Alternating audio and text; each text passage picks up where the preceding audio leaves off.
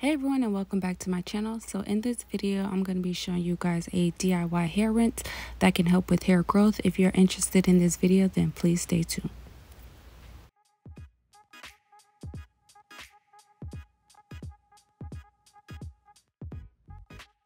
So the first ingredient that you're going to need is going to be one tablespoon of aloe vera powder.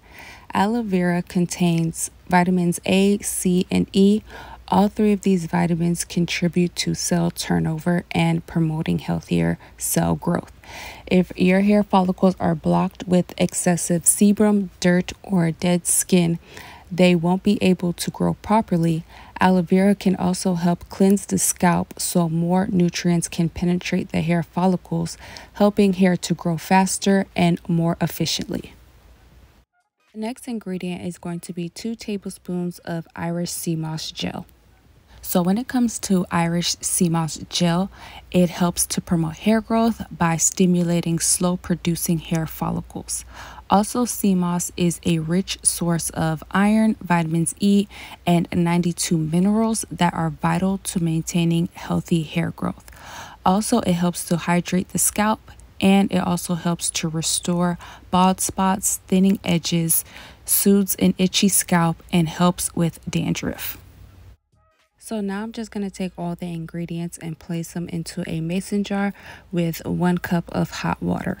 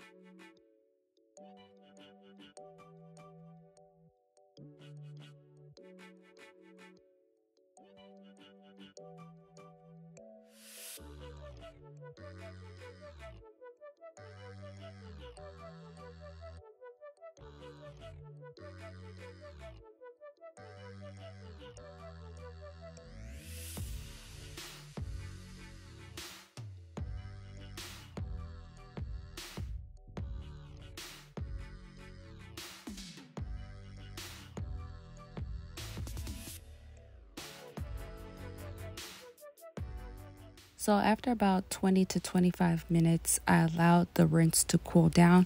So now I'm just going to strain it. And then I'm going to take the tea rinse and place it into a spray bottle for easier application.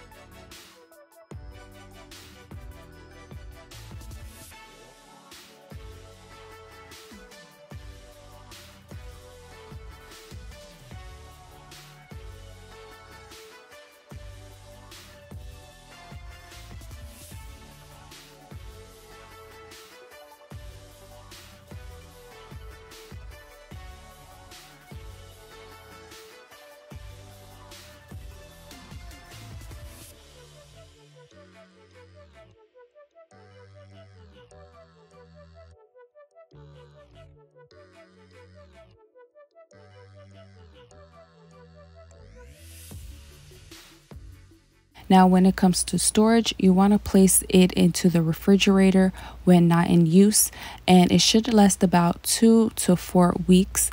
And if you want it to last longer, you can place it into the freezer and it should last about three to six months. So when using this as a hair rinse, you want to apply this all over your hair and scalp after you shampooed your hair because you want to make sure that your scalp is clean.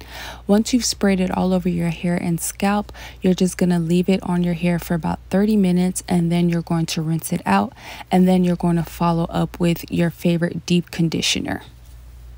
So you can do this method whenever it's your wash day. So whether you wash your hair once a week or every two weeks, so it'll just be up to you. So that's how often you should use the rinse whenever it's your wash day.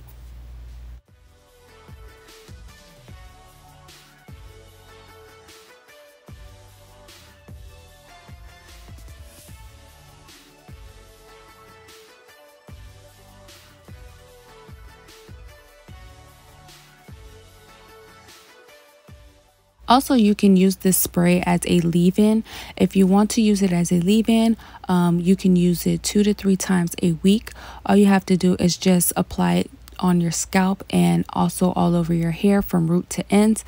And then make sure you follow up with your favorite hair oil or hair butter or cream so that way you can seal in the moisture. Thank you guys so much for watching. I hope you enjoyed this video. Don't forget to like, share, comment, and subscribe. And I will see you guys in my next video. Bye.